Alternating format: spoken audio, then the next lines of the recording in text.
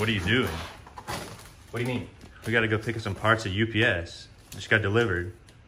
But we got to show the new wheels. I've been promising for like four videos that the wheels are going to be shown for the Bullitt. We can't do that. We got the parts just got delivered for the Cobra. We got to go right now. So we're not going to show the wheels right now. We can't do it right now. We got to wait. We got to go. All right, I guess we got to go. We'll have to come back. All right, let's go. How's it going guys? Welcome back to the channel. So we're headed right now to go pick up some parts for the 98 Cobra as well as we're gonna make a quick stop to Home Depot and return some parts that we have right there. Uh, they were just some stuff for the garage since we're kind of working on it and cleaning it up a little bit. Um, you probably already noticed by now that the far wall has been painted dark gray, so it looks really cool. And as far as the new wheels go, they are sitting in the garage. They're still in the box. They're ready to be pulled out. So once we run these errands and get back home, we will pull the wheels out of the boxes, show you guys what they are. Um, they're really, really cool wheels and hopefully we'll be back home soon.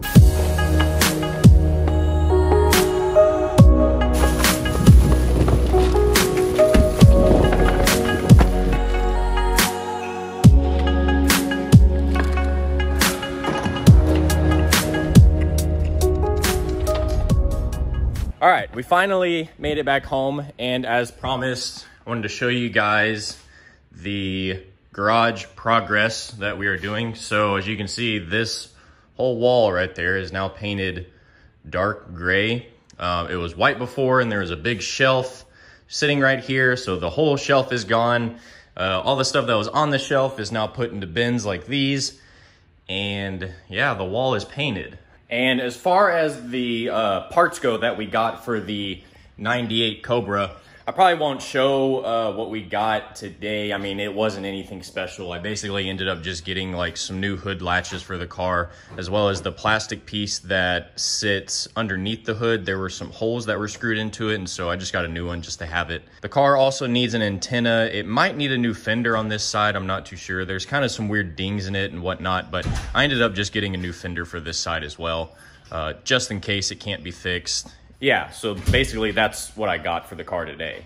So I don't remember if I mentioned it or not before in the video, but these wheels that I bought, I ended up buying them off of eBay and I actually wasn't even going to buy them because of the fact that they were on eBay and I would have had, and I had to pay for basically like, I think it was almost $200 worth of shipping. But I ended up just jumping on the opportunity to get them because a couple weeks prior to getting these wheels, I had seen a Facebook Marketplace uh, listing for some wheels exactly like these ones, and they were already on an 0304 Cobra.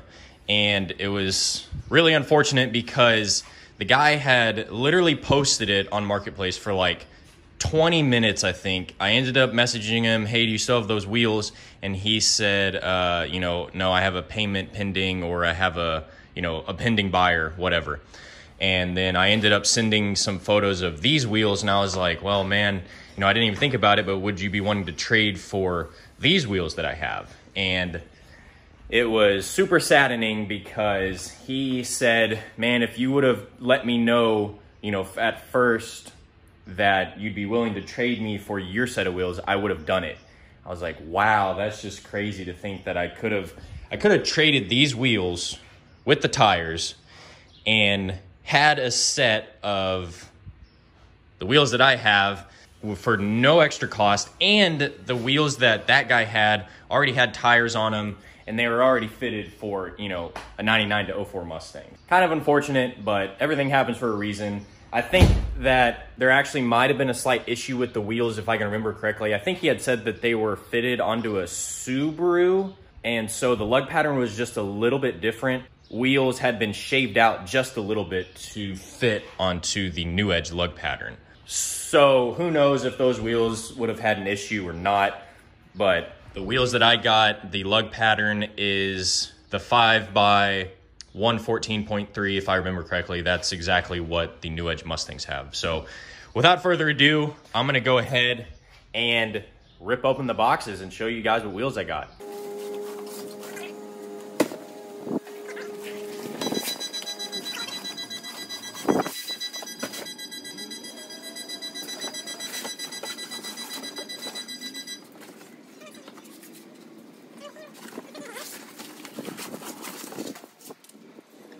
So these wheels have been sitting in this garage in the boxes for at least a month. And so this is the first time that I've like pulled them out, finally showed them onto camera.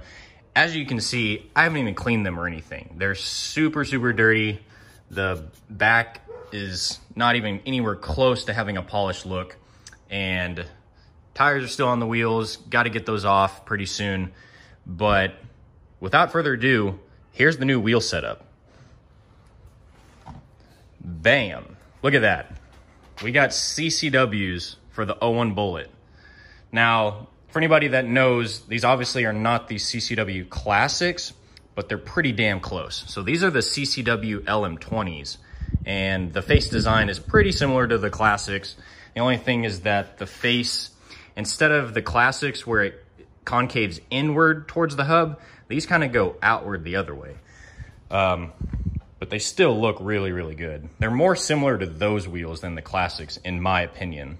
And for anybody wondering, these wheels are not ready to be put onto the car just yet. Uh, obviously, the tire size is not even anywhere close to being what it needs to be for this car. So these are a 245-40 on all four wheels. They're pretty stretched out, as you can see. I'm pretty sure that these were ran on like a tuner car, but I am definitely not planning on running 245s on the Bullitt. Right now it has a 315 in the back and has a 275 in the front. So a 245 all around would look ridiculous. It would look so stupid. Um, you know, in the in the front, it wouldn't look bad, and if it was bagged, you know, that might be a pretty good wheel setup to get a good wire tuck. But I am not going to run those tires at all.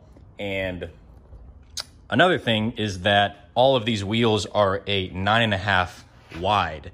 So I need to take the tires off the wheels and I need to measure what size barrel and what size lip these wheels have because they're gonna sit inside the fender on the back a pretty good amount. So I need to go ahead and get the tires off, measure the barrel and lip, and then I can figure out what size lip I need to go ahead and get for the rear. So that way it's a wider wheel and it looks better on the car, looks better with the 315 tire that's gonna go on the wheel. Another slight issue that I don't think it'll be a huge problem, but I was told on the eBay posting that these were all plus 30 offset wheels. But after looking at it, you can see this hub, you know, is more pushed in than this one. As you can see, like the secondary hole is like almost an inch deep on this one. And on this one, it's like a quarter to half an inch. So I'm pretty sure that this one is a plus 30 offset and this one is like a plus 40 or something like that. So what I'm probably gonna do is run the plus 30 on the front might have to run a small spacer just to clear the brake caliper. And then for the back, I will either get a half inch bigger lip with a half inch spacer, or I will end up getting a full inch thicker lip, which I don't necessarily want to do just because this lip size is already kind of, you know, deep, but obviously it's not as deep as like other CCWs that I see on New Edge Mustangs. And I've seen some really, really deep lips when it comes to these cars. So I'm not gonna test fit the wheels onto the Bullitt just yet because I wanna get the tires off the wheel before I do so. That way I can get a good measurement of exactly what lip and wheel spacer that I'll need for the car. And I don't think it'll look very good with the 245s put onto the car. So once the tires are off, I'll test fit the wheels onto the car and we can get the measurements and sizes all sorted out. So since I'm not gonna test with the wheels under the car just yet, I was really, really curious to see, you know, what these wheels might look like on the 98 Cobra. So I'm gonna roll this over here and I am just really, really curious to see what these would look like on the red Cobra. Damn. that actually would look really good. Holy crap. That might look better on that car than on the Bullitt. Wow.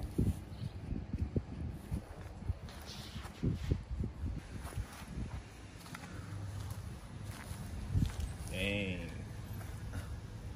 that looks so good. They just look too good on the red paint.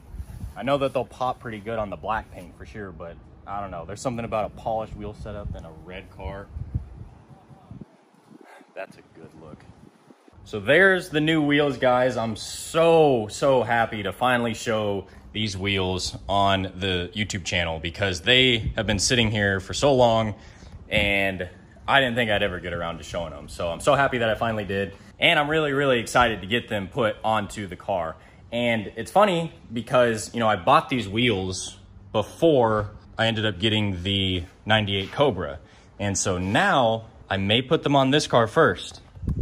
I don't know. They look really, really good sitting next to the car, as you guys just saw. But obviously, I got them for this car. I think it'd be pretty cool to put those onto this car just for a little while. So drop a comment down below. I'm curious what you guys think of the new wheels. Do you think they're going to look good on the Bullitt or would you rather have seen a like a five spoke setup or a Bullitt setup on the Bullitt? I'm curious to know, but either way, these are staying and they are going to look absolutely awesome on this car. So thank you guys for watching. In the next video, I guarantee you the garage will be done. That bench will be right there on the wall and we will have so much space in here to work on this car whenever we get the motor out and get the motor run running well.